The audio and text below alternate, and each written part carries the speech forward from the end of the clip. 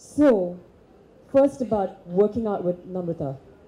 I love Namrata. The other day I did a workout with her after a very long time, and I don't know how many people know what plank is. Yeah? Do you know what a plank is? You can do it in jeans, I can't.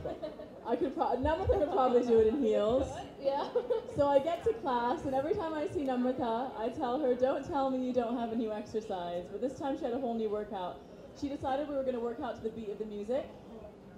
I did that one. And then when plank came, she decided, this is, I can't even do it. We were on all fours, and she's like, okay, now wiggle your ass. so working out with Namrata is a permanent surprise, and um, if you think you know everything, you really don't, because she'll always teach you something that you don't know. Oh, well said. Right? Yeah, you need to write a book now. No. She's actually, Lisa has actually written the foreword of my book, so if y'all do grab a copy, y'all will see the lovely words she said about me. There was that so was much really more sweet. to say. Thank you.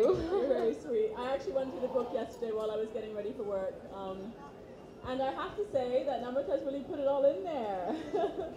it's a very insightful book, and um, yeah, I love working out with NAMS. It's been, I think, almost a year now. I got introduced to Pilates by another friend, and, and, and luckily I happened upon this lovely little girl.